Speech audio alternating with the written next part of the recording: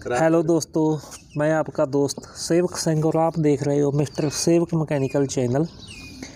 आज की दोस्तों छोटी सी वीडियो है और ये है माइक्रोटेक कंपनी का इन्वर्टर। इसमें प्रॉब्लम आ गई है कि जैसे कि अभी यह देख रहे हो आपके बिल्कुल यह नॉर्मल चल रहा है। नो लोड पर एक अम्पेयर ले रहा है लेकिन कभी कभी चलता चलता इसमें से काफ़ी ज़्यादा आवाज़ आने लगती है, जो कि ट्रांसफार्मर की आवाज़ है। तो यह प्रॉब्लम आज हम सॉल्व करेंगे।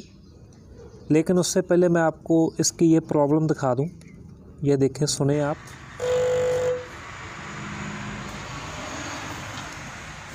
जैसे ही मैं हीट सिंक को टच करता हूँ तो यह आवाज़ आने लगती है।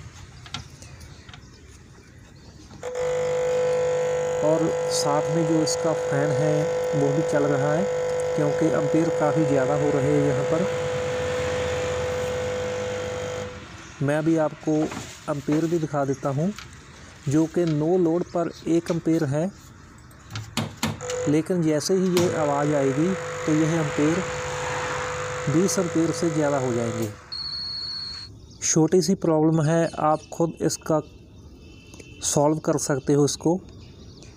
क्योंकि इसमें दो चैनल को जो ड्राइव जा रही है, उसमें से एक चैनल की ड्राइव बंद हो रही है। प्रॉब्लम इसमें ज़्यादा नहीं, सिर्फ़ ड्राई सोल्डर की है। तो जो दोनों चैनल में ड्राइव जा रही है, उसको आप रीसोल्डर कर दो। जैसे यहाँ पर पाँच सौ सैंतालीस ट्रांजिस्टर लगे हुए हैं, चार यह भी ड्राइव के लिए है। और जो पेन नंबर इसकी सताईस और अट्ठाईस जो आईसी है, वहाँ से ड्राइव आ रही है।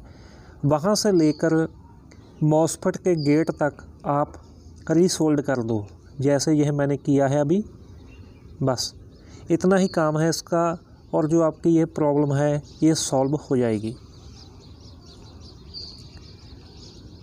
दोनों चैनल में आप यह काम करो।